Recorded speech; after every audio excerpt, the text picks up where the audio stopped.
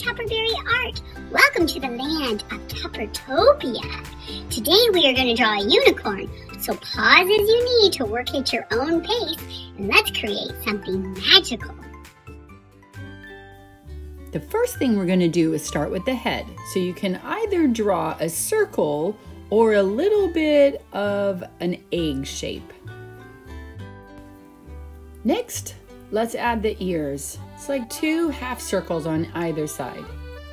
Notice this unicorn has sharp little ears, so you can do what you want, but add those little lines inside to show the inside. Now let's do the horn. It looks like a cone, turned upside down. Once you've done that, draw a few little diagonal lines across, and then just to soften this up, round out the edges. See, from line to line, just curve out your lines. Erase the lines in the middle that you don't need. And we have a cute little unicorn horn. Remember to pause this video to work at your own pace. The eyes will come next. So you can draw two circles or, again, two ovals on either side of the head and then draw a little circle inside of that. That is what you're not going to color because that's the light reflection in your eye. So leave that and color the rest in. Add some eyelashes, a few little strokes on either side. And then we can move on to the nose. This is also called the muzzle. So draw a little line and then Two simple little ovals will represent the nostrils. It's very simple. We'll just throw in a little bit of hair at the top, but we'll come back and add more later. So just right around the horn, gonna add what looks like kind of bangs coming out, but you know it's nice, bright, colorful rainbow when it gets colored in.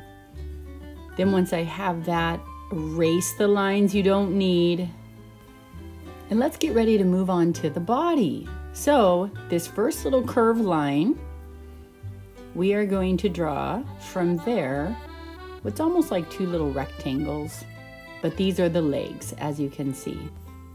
We'll add a little hoof on the end, which is like a little rectangle again.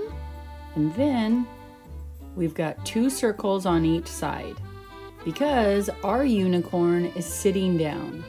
So I'll add the second line behind my circle to represent the hoof before I connect this all to the body. Two little curved lines from the head to the sides of the legs will connect your unicorn. Draw on a little line for the tail that comes to a point so it goes thick to thin now let's come back to the hair. We're gonna add some longer strands on the side of the head. Looks like a teardrop.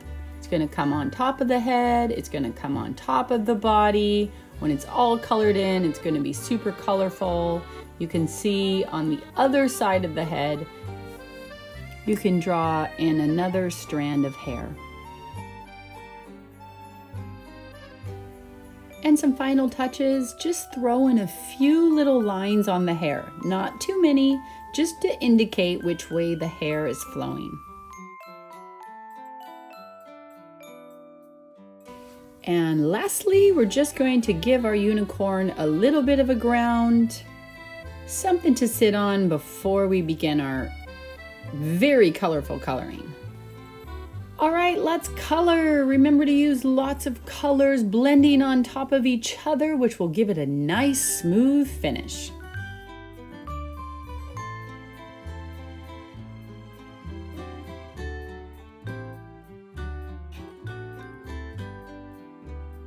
Thank you for drawing with me today. Remember, you can always send in requests can upload any pictures you've drawn and share them with me. You can subscribe to my channel and give me a thumbs up if you like this video. And we'll see you again for more magical drawings.